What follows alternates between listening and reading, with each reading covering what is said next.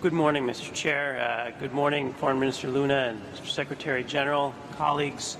Uh, it's a great pleasure to be gathered here in Cancun this morning to talk about uh, what is a very important meeting in the eyes of the United States, the Summit of the Americas and its next edition uh, in Lima, Peru.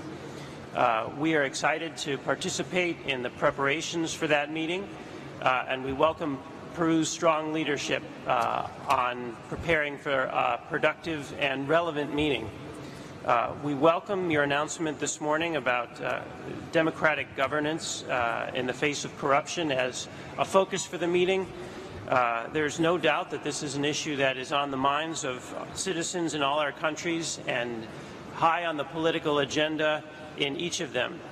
Uh, it's an issue that we need to grapple with uh, in each of our countries and as a region.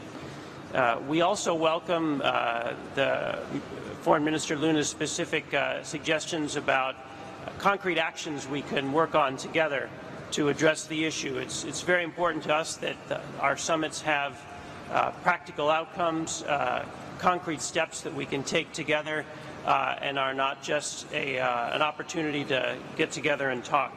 So we look forward to working with uh, all, uh, all of our fellow uh, summit countries on concrete steps that we can uh, join together to take in addressing this and other issues facing the hemisphere as we prepare for what will no doubt be uh, a very important meeting in Lima next year. Thank you very much.